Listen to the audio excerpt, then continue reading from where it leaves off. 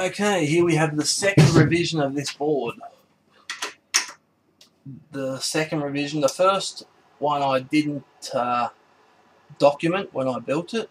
I basically just built it, got it working, and um, then after I built it, I tried to document it, which it did not work out well. I transferred it wire to wire across to a breadboard at something like 3 a.m. in the morning these are really crap breadboards, by the way. I don't recommend these at all. This is from Altronics, this breadboard. It is absolute garbage. It won't handle any current at all. It's really only good for signal stuff. But, um, uh, it's Altronics for you. Cheap garbage. But, these things happen. Oh, there was a bug in this board, by the way. This is what happens when you work at 3 in the morning. I just, I've been so busy, I've just been working really late into the night. But, um, there's somewhere in this board there's a bug. And because I didn't actually document the board without a schematic it was almost impossible for me to follow what I'd done. So I thought well rather than trying to nut out the problems of this board I'd just start again and uh, redesign the thing from scratch. But this time I actually documented everything I did while I was building it. This board's different in, from the first revision because the first revision had no electronic braking so basically when you went forward, it would go forward and then it would run on when you stopped. Um, when you hit the, the limit switches, it would run on. So I made a few changes and had this board so the electronic braking was incorporated. There's a couple of things I didn't consider and a couple of little bugs, but um, nothing major. Uh, this one also has uh, a different style of current limiting. With the old one, when the current limit was hit, the motor would shut down for maybe two or three seconds and then restart. But the customer wanted it to actually be physically reset, and I suppose in hindsight that makes complete sense. Because if there's a problem with the motor and it goes over current, it doesn't go over current for no reason. So we made the changes, and uh, here we are with revision, well, 3. We've got forward, which is the A button. A to go forward, B to go backwards, C to stop the motor straight away. As soon as we hit the C button, it'll stop. Now, there's two modes for this. It can either go momentary, which is you press the button, it'll go for a second, then it'll stop. There's another mode, which is latching, which is set up on the board, so when you press the A button, the motor will keep going until you either press the C button to stop it or you press the B button to change the direction. It goes over current or it hits the limit switch. Now there's two limit switches one for forward and one for back. So if we're going forward I'll just slow the motor down. So we're going forward at the moment. It hits the forward limit switch. Forward button's now locked out to us. All we can do is go backwards we go backwards and we hit the backwards limit switch. The backward switch is locked out to us. And all we can do is go forwards. So the limit switches are in place. And uh, one thing I didn't consider when I actually designed the circuit was the run-on from the limit switches. Like I had the electronic braking hooked up to the forward and reverse, but I didn't even consider the limit switches. I just figured when they stopped, everything would shut down with it. But uh, because I did them differently, uh, it didn't work like that, so I had to make some changes to the board. I'll just show you what would happen so you can see what I'm talking about. Never good to play with electronics like this. If you touch something, you can blow it up. But um, I'm just going to speed it up so you can see exactly what I'm talking about. Okay, what would happen, see how we've got the electronic braking for forward and reverse, this is what would happen.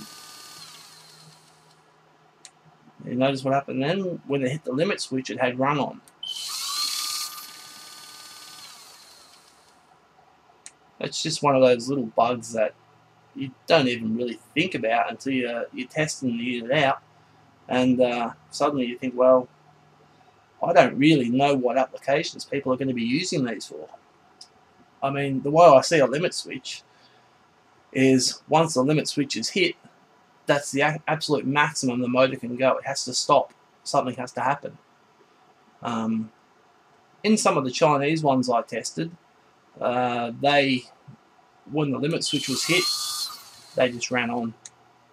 So for this one, I decided, well, because it's going to be generic, I'm not always sure how the customer is going to be using the product. So I figured best to have the electronic braking in place.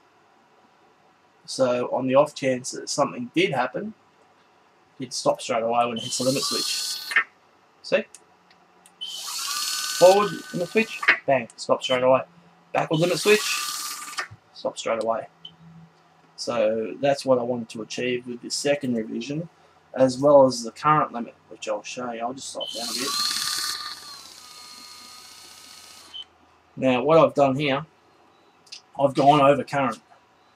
Now how I did that was I pressed the A button and while it was moving forward I straight away pressed the B button which is from forward to reverse. And when you go from forward to reverse the current draw is much greater than even well the stall current. So straight away it's triggered the overcurrent limit which means everything's locked out. And unlike the old one which uh, would start after two or three seconds this one's actually locked out until we reset it. So if something's wrong, then we have to reset it. So we've got four buttons on the control. We've got A, which is forward, B, which is reverse, C, which is stop, and D, which is reset. So I've just triggered it again. Press D. Trigger it again. Press D to reset it. Trigger that again. Press D to reset. Um, the reason I built it like this was, uh, well, it was a customer request that the, the current limit was able to be reset. But um, the, the, customer wasn't so concerned with the run-on when it hit the limit switches because they had a physical barrier that it actually hits. But when I thought about it, I thought, well, I don't know what people are going to use these for because this customer, while it's been specifically designed for one customer, it's really a generic product. And to make it generic, I had to incorporate all the things that I thought the people would want. I, the customer doesn't require the current limit that this will put out. They only need, I think, about 10 amps maximum. But uh, in order to be generic, I just make it so it can be used by everybody for a variety of different things. And the customer also only wants a small quantity, and the quantity they want's not really viable to build. So uh, I figure by making it available to everybody, I can increase the quantity and keep the cost down, and um, yeah, add another controller to my to my list of growing controllers. Um, We've also got lockout. Uh, control. We can have up to six controllers on this module, by the way. So that's a, a random controller I just pulled from the packet. So it won't do a thing. It's all locked out. You can see on the receiver board there's a light that says yes there's another controller here but no it's being ignored because it's given the wrong codes. It's easy to teach it just by pushing the button on the board and uh, pushing any button on the control. So there you have it. We've got forward, we've got reverse,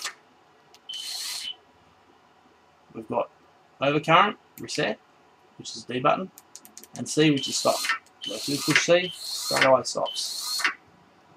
And uh, that's all it is. As soon as we power it up, I'll just turn it off. Give it a few seconds for the capacitors to discharge. When we switch it on, it goes straight into its ready state, which is this LED. That tells us that everything's okay and that everything's working perfectly. Uh, this one tells us that there's a problem. So, as I showed you before, when I take it over current, everything's locked out. So we need to press D to reset it. Now with the with the limit switches, I've just slowed it down so you can see how it works we've got two limit switches. We've got a forward limit switch and a reverse limit switch. When the forward limit switch is pressed, it'll shut down. And all you can do is press reverse until the reverse limit switch is used.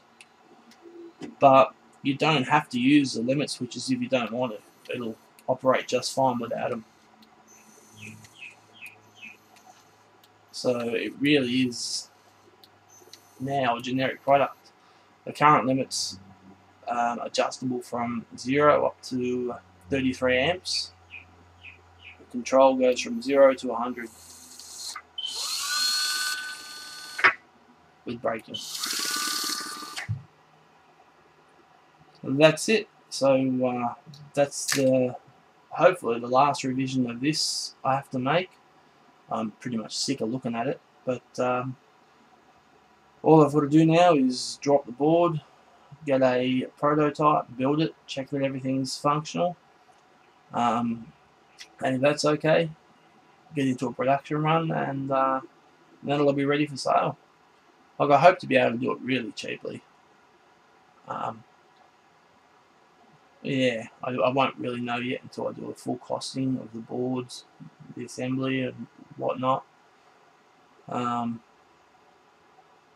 that's pretty much it. Nice and simple and reliable. I've had the thing running now for well, three days, just cycling it forward, reverse, triggering the current limit, and rock solid, which is you know what everybody wants. I want something that's you know usable long term and uh, reliable. Feel we've achieved that, and uh, now I can walk away from this and never look at it again. Hmm.